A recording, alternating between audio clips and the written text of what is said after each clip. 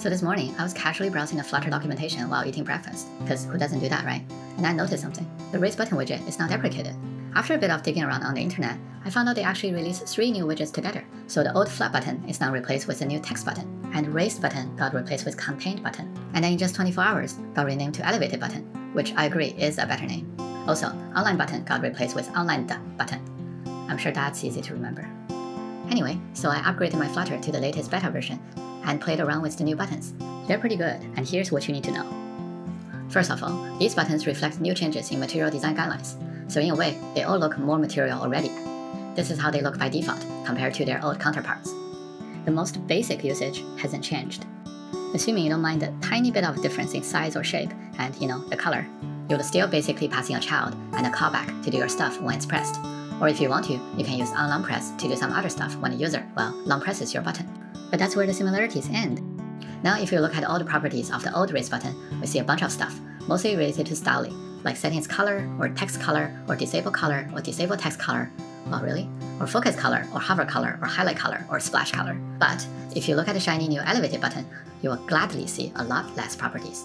That's because they grouped everything related to styling into a new property, unsurprisingly named style.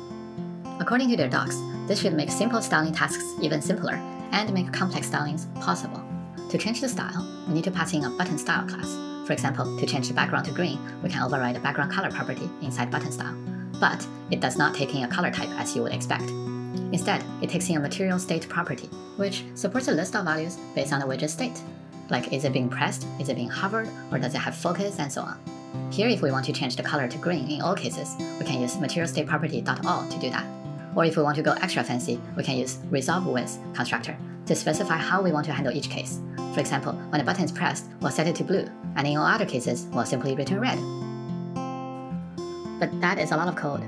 Fortunately though, you probably don't need to write these all that often. Remember they also said they want to make simple styling tasks even simpler? Well, they got a convenience method, style from, to do all the heavy lifting for you. For example, to use the button's default style as a starting point, you can start with elevated button.styleFrom and pass in any value you would like to override. So say you want to change the shadow color, simply write shadow color colors.red.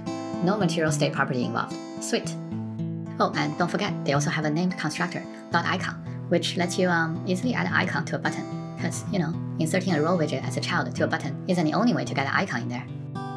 So there you have it, a short video describing great new changes to material buttons in Flutter.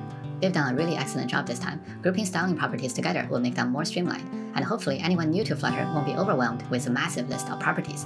I'm looking at you, text field,